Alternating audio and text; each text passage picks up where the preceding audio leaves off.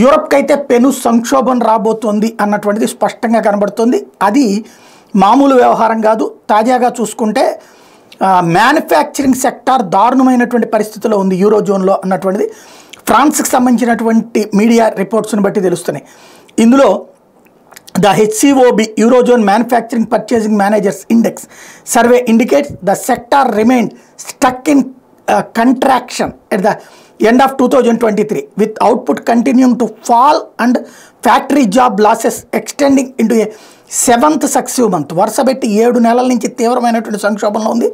The monthly analysis compiled by the S and P Global is based on responses to questionnaires sent to survey plan panels of manufacturers in Germany France Italy Spain the Netherlands Australia Ireland and Greece totaling around 3,000 private sector companies.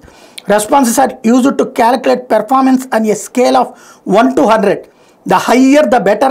Greece figure of 51.3 is the highest in uh, four months.